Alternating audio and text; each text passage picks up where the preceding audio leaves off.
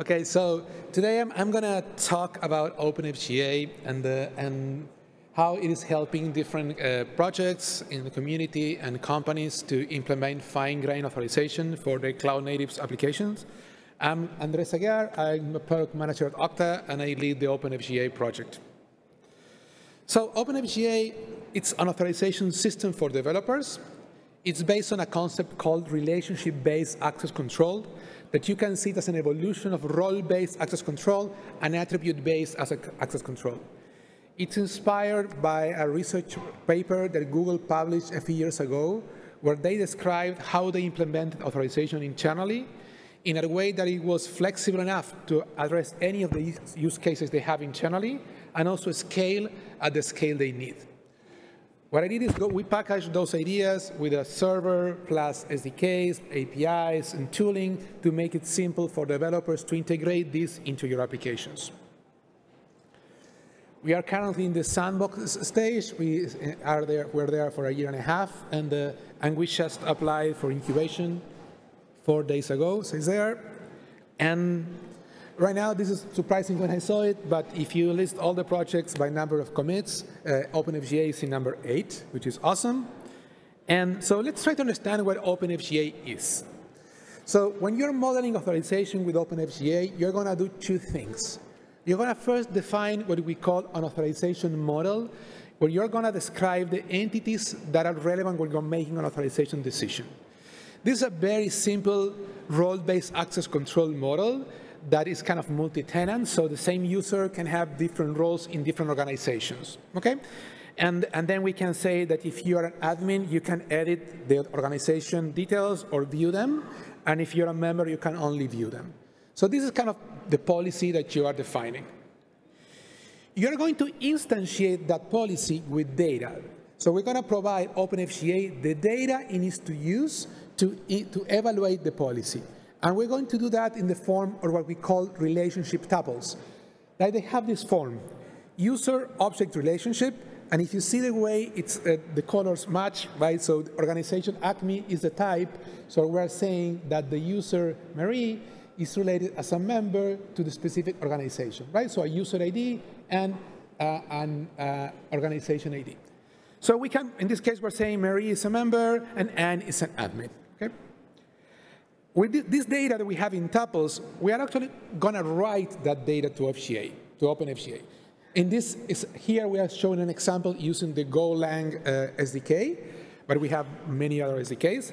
So we add that data, we call the write uh, method in the Go SDK, which calls the write API in, in OpenFGA. And then we're going to store that data in one of the storage providers we support. We have these three, we're going to build more. And after you write the data, in your APIs, whenever you want to know if a user can perform an action on a resource, you're going to call the check API. In this case, I'm asking, can Marie edit details for a specific organization? And FGA is going to return yes or no based on the data and the policies you defined. Okay? And in this case, it's going to return false because Marie is a regular member and she cannot edit the organization details. So pretty simple. Now, we are not going to build a product to let you build RBAC. That is a problem that is already solved many times, right? The idea of relationship-based access control is that I kind of start defining the entities, other entities that map to the specific resources my application has. In this case, a folder and a document. For example, if I want to build a document managed app, so two new types. I can define hierarchy be be between those entities. For example, the folder belongs to an organization, As a parent, which is another folder. The document is in a folder.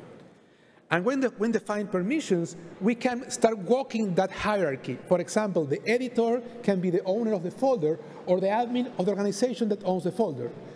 In the, the editor from the document can be an owner, the owner of the document, or the editor from parent, right? So we can start walking that graph and when we ask if I use a perform action in a resource, we use the model and the tuples to answer those questions. This model is still very simple.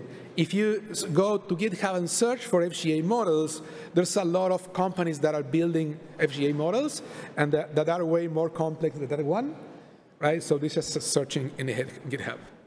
And then we have a lot of great developer tooling. So we have an integration with Visual Studio Code, lets you edit those models and validate them and run tests. A lot of SDKs and integrations with different platforms.